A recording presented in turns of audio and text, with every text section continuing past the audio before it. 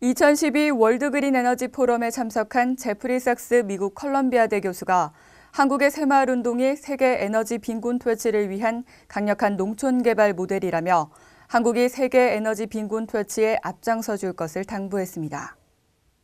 제프리 삭스 미국 컬럼비아 대 교수가 17일 개막한 2012 월드 그린 에너지 포럼에 참석해 세계가 당면한 에너지 빈곤의 현실과 해결 방안을 제시했습니다. 이날 포럼에서 삭스 교수는 지구촌 에너지 빈곤 퇴치를 위해서는 저개발국의 청정에너지 접근성을 높이고 선진국과의 공동사업 발굴에 적극 나서야 한다고 주장했습니다. 지구촌 에너지 빈곤을 퇴치하기 위해서는 선진국들이 국민 총생산의 0.2% 수준인 천억 달러를 매년 지원해야 한다고 설명했습니다. 또 한국의 새마을 운동이 세계적 빈곤 퇴치를 위한 강력한 농촌 개발 모델이라며 현재 김관용 경북지사와 유엔이 공동으로 추진하고 있는 뉴 밀레니엄 프로젝트가 아프리카 등 저개발국의 가장 좋은 모범이 되고 있다고 강조했습니다. in the United States, uh, where I uh, arrived from just this morning, we are facing the worst drought in our modern history. Uh, we have more than half of the country covered by drought, and we have lost a substantial proportion of our food crop this year.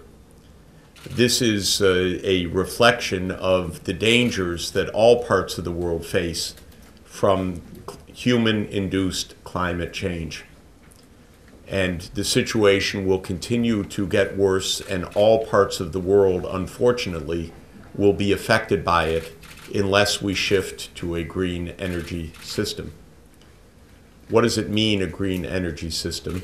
It means an energy system that can provide the electricity and other energy needs without the carbon dioxide emissions. And this is a big challenge. It might mean nuclear power, wind power, solar power, hydroelectric power, uh, as in the case of Nepal, uh, geothermal energy, as in East Africa. But we need to make that transition in a short period of time. That's why I'm very excited by the World Green Energy Forum, and I hope that this forum helps to accelerate the transition to a safe global energy system. Thank you very much.